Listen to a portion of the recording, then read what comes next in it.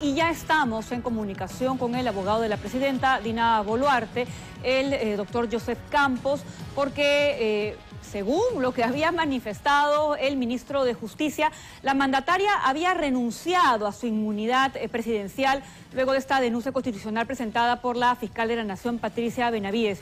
¿Es cierto esto o no? Doctor, gracias por estar en comunicación con nosotros. Buenas tardes.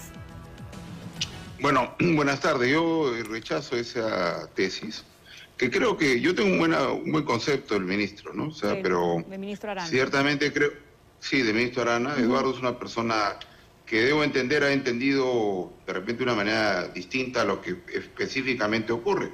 Porque lo que, lo que hemos hecho hasta ahora es no ampararnos en las prerrogativas para hacernos la defensa. De repente eso lo ha interpretado de una manera distinta, ¿no? Lo que hemos hecho hasta ahora es colaborar abierta y directamente con el Ministerio Público. Hemos ido a, las oficinas del Ministerio Público cuando pudimos haber establecido que se recoja la declaración en las oficinas de la presidenta, etcétera, etcétera. Entonces, eh, yo debo, además, por último, dos cosas finales. La primera, el ministro de Justicia es el, el asesor jurídico de los actos de gobierno de la presidenta de la República. Yo yo tengo a cargo la responsabilidad del asesor jurídico en la investigación que sufre la Presidenta de la República, que son dos responsabilidades distintas.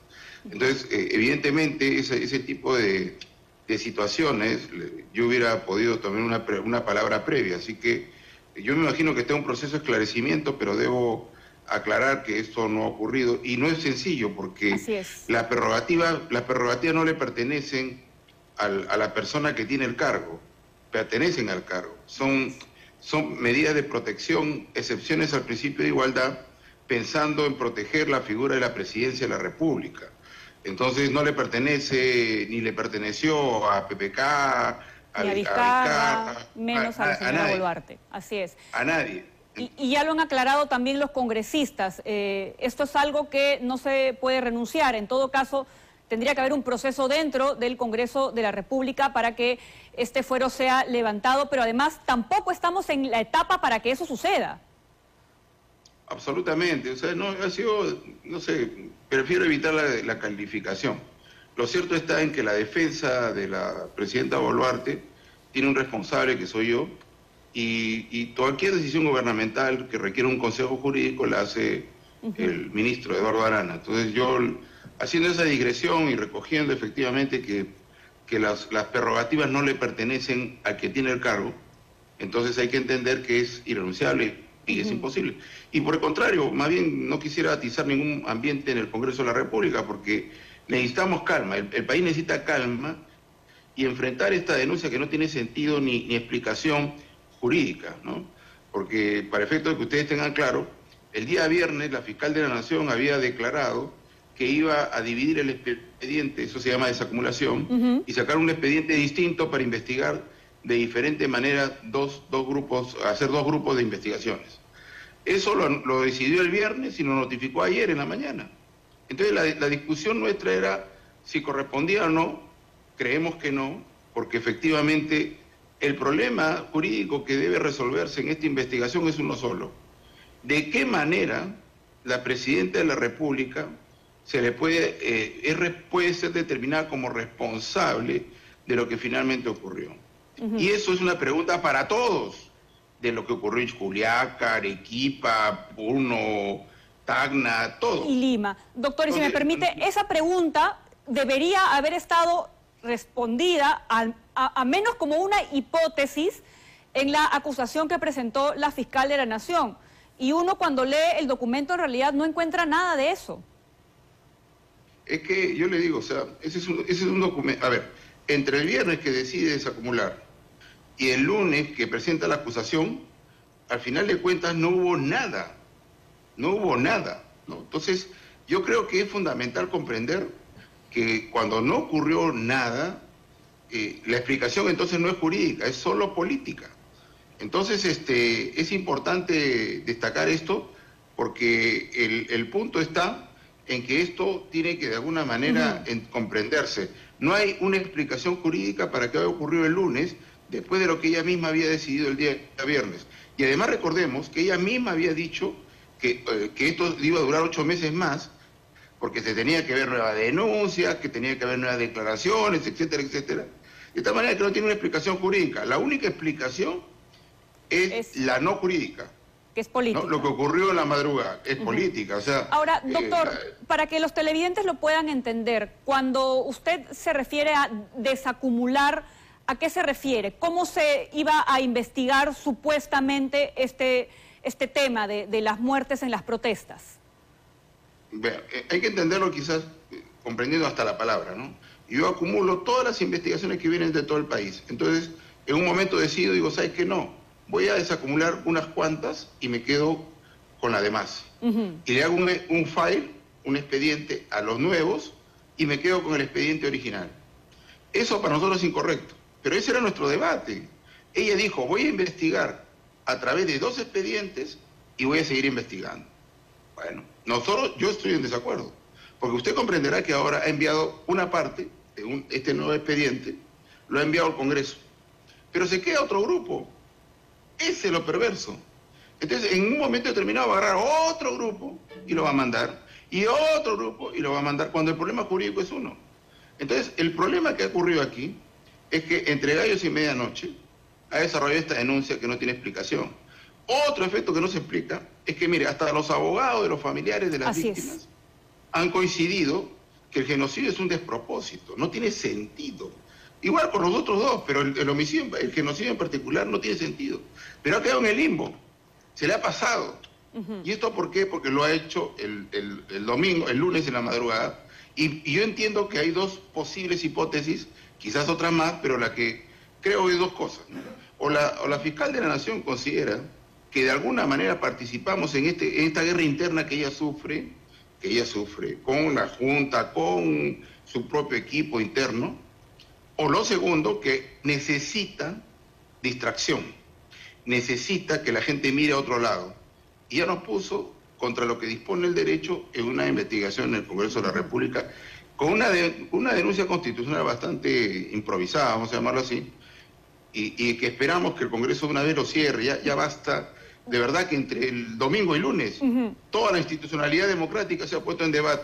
Doctor, si me permite, eh, usted ha mencionado que efectivamente eh, los eh, abogados de los familiares de las personas fallecidas ya se han pronunciado sobre este tema, pero ellos insisten en que sí habría una responsabilidad política en la presidenta y en quienes fueron ministros de Defensa y del Interior en su momento. Pero eso, a ver, el Ministerio Público, en el, Ministerio Público, solo se discuten investigaciones jurídicas. Eso es lo que hay que distinguir. Lo que no hay que hacer es que el derecho sirva para hacer política. Porque cuando pasa esas cosas, pasa lo que estamos viendo. Pasa lo que estamos viendo con el tema de la Junta, con estas cosas internas. Y lo único que pierde es la democracia, por una razón.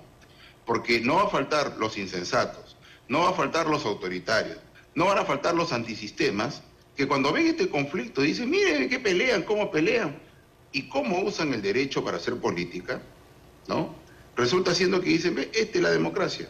Y ofrecen propuestas autoritarias, antidemocráticas, dictaduras. Eso, lo, eso es lo que hay que tener, entender en este proceso. Por fuera de las emociones, el derecho propone una solución. Y eso es lo que tenemos que entender. ¿El Ministerio Público sirve para hacer política? No. Para responsabilidad política, no. Lo que falta establecer, en primer lugar, es qué pasó en las calles. Una yo yo me, he adelantado a afirmar lo siguiente. Nadie murió en la protesta. Nadie murió en la protesta. Y lo digo con convicción, porque las, las tristes pérdidas se han dado en medio de las manifestaciones violentas que jurídicamente, que la Corte Interamericana, que la Corte Suprema Peruana ha dicho que no deben ser violentas. Y lo que hemos visto, mire, si no hubiera habido manifestaciones violentas, no estuviéramos conversando. No estuviéramos conversando. Si no se hubiera intentado tomar, eh, si no se hubiera intentado tomar aeropuertos, tomar carreteras, etcétera, de esto no estuviéramos hablando. Y hay que investigar objetivamente por respeto a la víctima, pero en segundo lugar, y también no menos importante, por respeto a los señalados como victimarios. Mire, ese policía le cuida a usted las instalaciones, le cuida, le cuida a usted le cuidan los televidentes. Por favor, es padre, es hijo, es hermano y lo esperan en su casa. Sí, doctor. Y, lo mismo deben pensar los familiares de, los heridos y de los fallecidos, que también han sido papás, han sido hijos. ¿Nos podríamos poner en esa misma circunstancia? Lo, que sucede es que nadie ha debido morir. La, la ¿Cuál es, ¿Cuál es la, tesis o la hipótesis que ustedes tienen como defensa? ¿Qué es lo que pasó? No, no, no, puede ser que si me, hace entrevista déjame responder. Lo importante es establecer lo siguiente, ¿no? Y sin alzarnos la voz, porque al final de cuentas, ni tú ni yo formamos parte de... No le estoy alzando la voz, doctor, no le estoy alzando la voz. Ya, en primer lugar, establezcamos la calma, porque al final de cuentas, ni tú ni yo vamos a establecer una decisión sobre este tema. Yo soy una Por eso le estoy preguntando, doctor, para usted, ¿qué es lo que debe haber pasado? Lo que tiene, primero, ha existido una manifestación violenta con objetivos políticos que lo ha dicho la Comisión Interamericana de Derechos Humanos. ¿Ya? Eso no está protegido por el derecho, no es derecho, no es el ejercicio de un derecho. Si no hubiera ocurrido estas manifestaciones violentas, no estaríamos hablando de esto. Porque el policía, que hoy se ve involucrado en un problema, que tiene que pagar su abogado, no lo pagas tú, no lo pago yo, ¿no? Al final de cuentas va a estar involucrado en una situación en la que si no hubiera ocurrido, ¿no? El objetivo político violento, ¿no? No hubiera pasado este asunto. La víctima necesita una verdad, no la que tú crees ni la que yo creo, la verdad. Y para eso se tiene que investigar. Pero antes de eso, se tiene que considerar que todo este, este mundo que, que se ha creado tristemente tiene una víctima que merece conocer en qué circunstancias objetivas murió, ese policía, ese, militar, tiene que tener derecho a que se le investigue objetivamente, porque si usó bien el arma, como fue Sonco, por ejemplo, dilapidado, lapidado y luego quemado, si Sonco hubiera matado uno o dos en su defensa y hubiera sobrevivido, no le hubiera pasado nada, nada, nada, porque estaba usando correctamente el arma. Eso se tiene que determinar en una investigación donde no participamos ninguno de los que estamos hablando acá. Y eso tiene que ser por respeto a la víctima, por respeto también a aquellos que nos cuidan, aquellos que te cuidan, que cuidan a tus hijos, a tu familia. Eh, por esa razón tenemos que de alguna manera tener tranquilidad y objetividad para este tema, no hacer circo con este tema. Eso es una tragedia nacional. Si me permite, porque de lo que uno sí puede entender del documento enviado por, por la fiscal Benavides es que por la posición en el esquema de poder de la presidenta Dina Boluarte y de los ministros, eh, ellos tenían conocimiento de cómo iban a ser los planes operativos.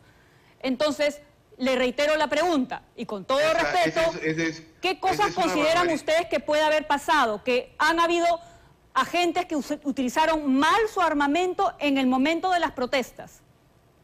Yo no sé, porque mira, las, necropsias pueden decir cualquier cosa. Y las necropsias no infieren de la forma como murió.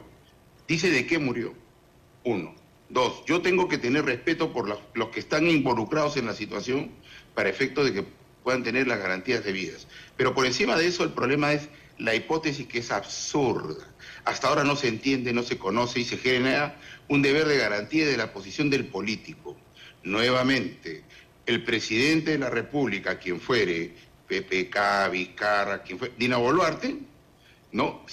obtiene la condición de presidente de la República a través de un acto político electoral, elección y gana con votos. Seguirá siendo ese presidente lo que fue antes de la elección y seguirá siendo el misma persona luego de.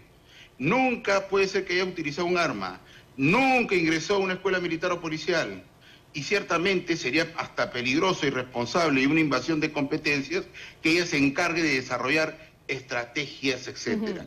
Ella como política, como jefe suprema, tiene la posibilidad de dar una orden política, que es la que dio constantemente, a través del Consejo de Ministros, en, castellano y en quechua, y ciertamente la misma orden fue constante. Es, es mantengan el orden público con respeto a los derechos humanos. Pero nuevamente, y la otra vez, hace un rato recurrí a un ejemplo de mi infancia, que no es seguramente la de ustedes. Había un juego que se llamaba Stop. Stop y paraba. Acá se sortó permanentemente, pero los objetivos políticos que, que trascendían a estas movilizaciones políticas, que estaban junto con gente que efectivamente pudo haber protestado, pero las movilizaciones políticas no cesaron nunca. Ahora, doctor, si me nos estamos quedando sin tiempo. Disculpe que lo interrumpa. Queremos saber qué es lo que usted espera que suceda en la subcomisión de acusaciones constitucionales con este documento de la fiscal Benavides. Bueno, con este documento hecho entre gallos y medianoche, de manera improvisada, en las circunstancias que estamos eh, evidentemente reconociendo, que, justo tiene ocho meses y ¡pum! Hoy, ese día le, le, resulta todo este asunto. Bueno, yo estoy confiado que esto tiene que ser descalificado y archivado. Ojalá que además ocurra con un mensaje, porque ciertamente, nuevamente, esta división de investigación tiene una posibilidad cruel, que, vea pues, archívame estos, me quedo con estos. Eso es perverso. ¿Saben qué? es negarle la, posibilidad a estos familiares de conocer la verdad. ¿De qué? De lo que ha pasado, o sea, si se terminan archivando. no, no, no, no, no, no, es que la verdad de lo que ha pasado no se, no se obtiene acá, señorita, ese es el gran problema. ¿Sabe dónde está la verdad de lo que ha pasado? Allá, en cada calle donde ocurrió esta triste, esta triste tragedia. ¿Ya? Eso es lo que hay que entender. Acá hay una omisión de un deber, sí, de aquel que está llamado, de la institución que está llamada a investigar qué pasó en la calle, qué pasó en el lugar, quién fue el que, el que, el que en qué circunstancia murió, quién fue. Este que fue, lo hizo de manera correcta o incorrecta según la ley para el uso del arma. Entonces esas preguntas no se hacen acá, señorita. Si se archiva la investigación con la Presidenta de la República, no pasa nada las investigaciones que tienen que seguir haciéndose al respecto. Por el contrario, ha sido un despropósito iniciar esta investigación porque de aquí no se va a sacar la verdad. La verdad. No se va a sacar la verdad. Acá lo importante es que comprender lo siguiente y con eso termino si me parece, si me permite dos segundos. El punto central aquí hay que comprender con claridad que estas investigaciones que se están desarrollando solo tienen una sola pregunta respecto a la presidenta. La presidenta es la única autoridad política de la Constitución que tiene una representación política reforzada. ¿Y sabe cómo? Ella personifica a la nación. Entonces, eso explica el 117 de la Constitución. Entonces, para investigar a un presidente de la República, que ella se ha sometido a la investigación, se tiene que hacer con todas las celeridades y las seguridades y las objetividades que eso merece. Ya tenemos más de ocho meses, diez meses, con una presidenta colgada en un San Benito de genocida. Eso es irresponsable, absolutamente irresponsable porque provoca un discurso absolutamente perverso dentro y fuera del país. Defendamos la democracia, que eso es lo importante, hay que comprender todo esto. Bien, doctor Campos, le agradecemos mucho su participación, ha quedado claro entonces su posición respecto a lo que tendría que suceder en los próximos días con esta denuncia presentada por la fiscal Patricia Benavides.